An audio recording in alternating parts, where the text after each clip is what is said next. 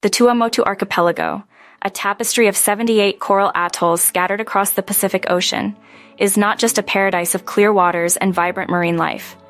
It's a canvas of history, stretching back to the first Polynesian settlers around 900 AD. These seafaring pioneers mastered the ocean's currents, weaving a society rich in art, music, and deep reverence for the sea. Change swept through Tuamotu with European explorers like Samuel Wallis and Louis Antoine de Bougainville in the 18th century. The islands, once isolated, grappled with new diseases and the imposition of Christianity, eventually becoming a French protectorate.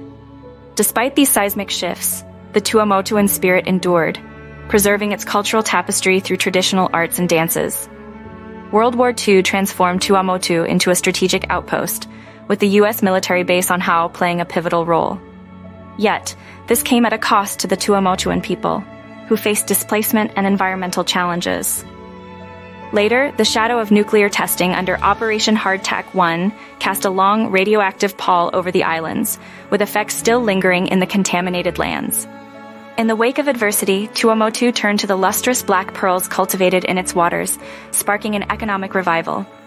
But as pearl farming flourished, so did the threat to the archipelago's fragile ecosystems.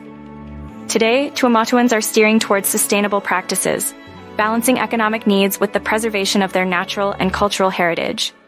Now, as a UNESCO Biosphere Reserve, Tuamotu beckons travelers to its shores, offering a glimpse into a resilient community that has navigated the tides of time. From the ancient marae to the rhythmic beats of traditional music, Tuamotu's story is a testament to survival, adaptation, and the enduring allure of its islands. Book with a French Polynesia specialist at Far and Away Adventures.